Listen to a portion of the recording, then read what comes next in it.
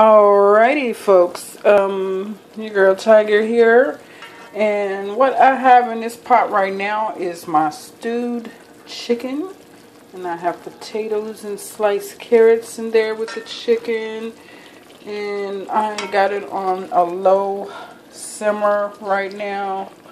I have my sofrito and my sazon and my potatoes and a little bit of sliced carrots, garlic powder, onion powder, black pepper. Yeah. And so it's at a slow simmer right now. And we're letting our rice just cook by itself with the top on it. I already cut the fire off a long time ago. And this is how I let my rice cook. I boil it and as soon as it starts boiling, I let it cook for about four minutes. Then I cut it off and put the top on it and let it finish getting cooked by the steam that's going to fluff it. So it's still cooking. So, And so is my stewed chicken. let me cover that up.